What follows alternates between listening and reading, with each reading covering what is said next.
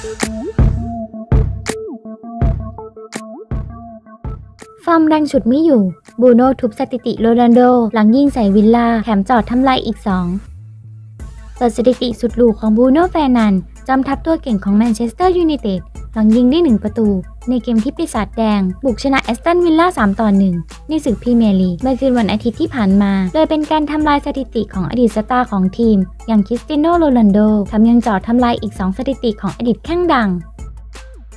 บรูโน่แฟร์นันด์สมิดฟิลด์ทีมชาติโปรตุเกสของแมนเชสเตอร์ยูไนเต็ดทำลายสถิติของคริสเตียโนโรนัลโด อดีตสตาร์ของทีม โดยการยิงครบ 25 ประตู จากการลงเล่นเพียง 48 เกมแรกในพรีเมียร์ลีก เร็วกว่าที่ CR7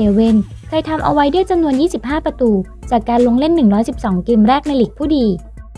บรูโน่วัย 26 ปีทำผลงานได้โดดเด่นสุดๆ นับตั้งแต่ย้ายมาจากสปอร์ติ้งลิสบอนเมื่อเดือนมกราคมปีที่แล้ว โดยการยิงไป 7 ประตู จากการลงเล่น 14 เกม ในพรีเมียร์ลีกเมื่อฤดูกาลที่แล้ว ขณะที่ซีซั่นนี้ เจ้าตัวก็ยังผลิตสกอร์ได้เป็นกอบเป็นกำโดยยิงไปถึง 17 ประตู จาก 34 เกมในพรีเมียร์ลีกและจากลูกจุดโทษ ที่ยิงใส่แอสตันวิลล่าช่วยทีมพลิกสถานการณ์ กลับมาเอาชนะไปได้ 3 ต่อ 1 ซึ่งทำให้เขากลายเป็นผู้เล่นที่ยิงประตูครบ 25 ประตู จากการลงเล่นเพียง 48 เกม ทำลายสถิติเดิม ที่โรนัลโดทำไว้เรียบร้อย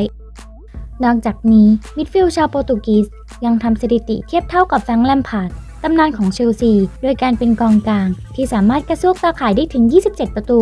รวมทุกรายการในฤดูกาลเดียว หลังจากแฟรงก์แลมพาร์ดเคยจารึกสถิตินี้ เอาไว้ได้ในฤดูกาล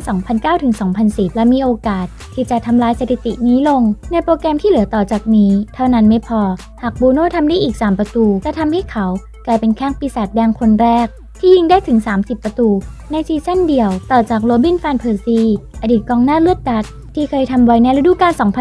2012-2013 ช่วยทีมคว้าแชมป์พรีเมียร์ลีก